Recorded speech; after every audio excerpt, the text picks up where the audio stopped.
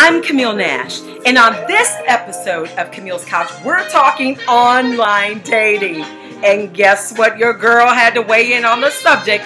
I'm going to share with you the nuts and bolts of my experience of what transpired and or what did not.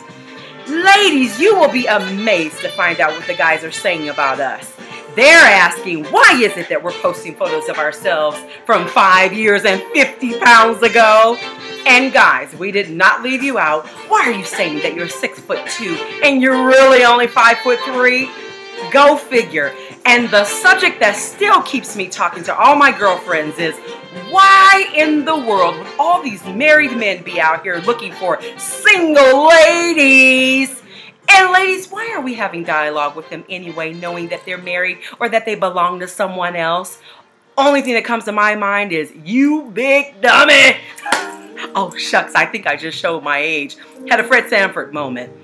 We're going to take all of your questions. We're going to take your feedback, your comments, your suggestions. We ask that you follow us on Facebook. Look for us on Twitter. We can't wait to hear from you. And just remember, at the end of the day, every single Friday at 10 p.m. Eastern Standard Time, you can find us here. And whatever we share on the couch, it's going to stay right here on the couch. I'm your girl, Camille Nash, and we'll see you next time.